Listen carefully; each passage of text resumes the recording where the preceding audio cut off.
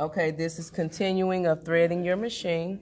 So our stop point was this thread in here. You bring it through the back and you put it through that hoop and you just let it drop.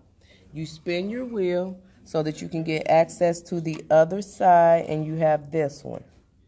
So again, it'll be in this position. When you spin your wheel, you need access to this hole to thread and we'll zoom in so you can see it. So if you see that brown, the brown thread is back behind this marker. You can see my, and then it went through here and now it drops. So now the piece that drops, you want to pull it through this way and then we'll follow on the other side and you're going to thread through here.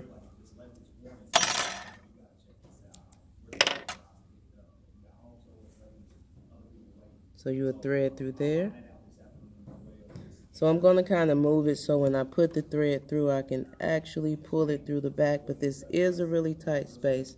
But trust me, you'll get used to it. So I'm putting the thread through. I'll come out and go back in. You put that thread through and you pull it out your back. You can stay right there. Yep. And if you have big fingers like me, you're going to want to use these tweezers. Okay, so now all your threads are through. So now your third one is your needle. And because we're threading, we might as well go through the needle too. So the needle is number three here, which is your red thread. So you're going to start here. That's your antenna. It'll go through that same hoop, around that same circle, and through these hooks. So we'll start your red thread, which is number three, which is always your needle thread. It goes down, through, hoop, around your circle, and you see it fits off in here.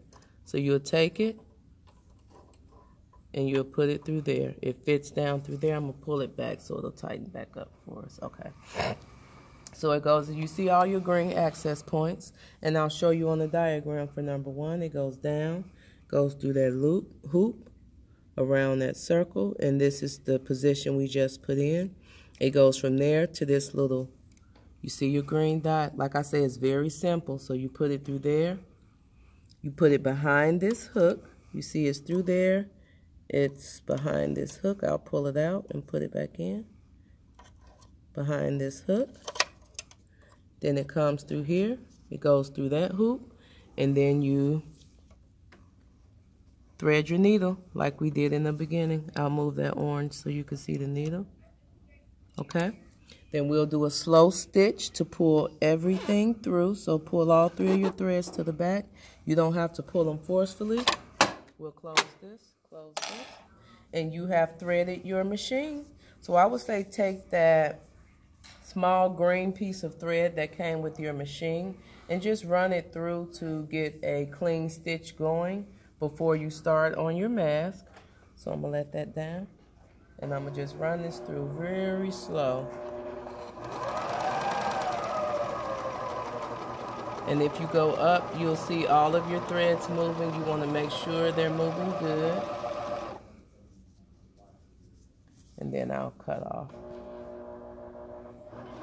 And that first stitch, I always go very slow, just only because, and as you see, you should have a perfect stitch. All right, if you guys have any questions, call us 317-835-5139. Happy sewing!